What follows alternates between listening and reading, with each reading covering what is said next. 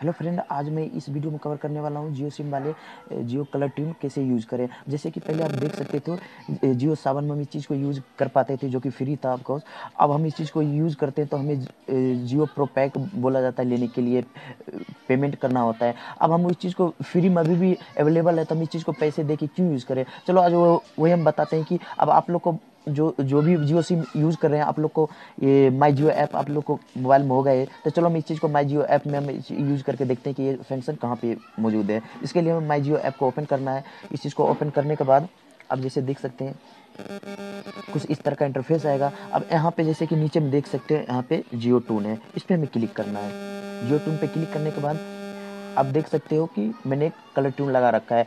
अब आप लोग यहाँ पे अपने हिसाब से मैनेज कर सकते हैं। जो भी कलर ट्यून अगर लगाना है, आप इस चीज़ को चूज़ करके सेट कर सकते हैं। नहीं तो आप यहाँ पे सर्च बार में आप सर्च करके अपना मनपसंद कलर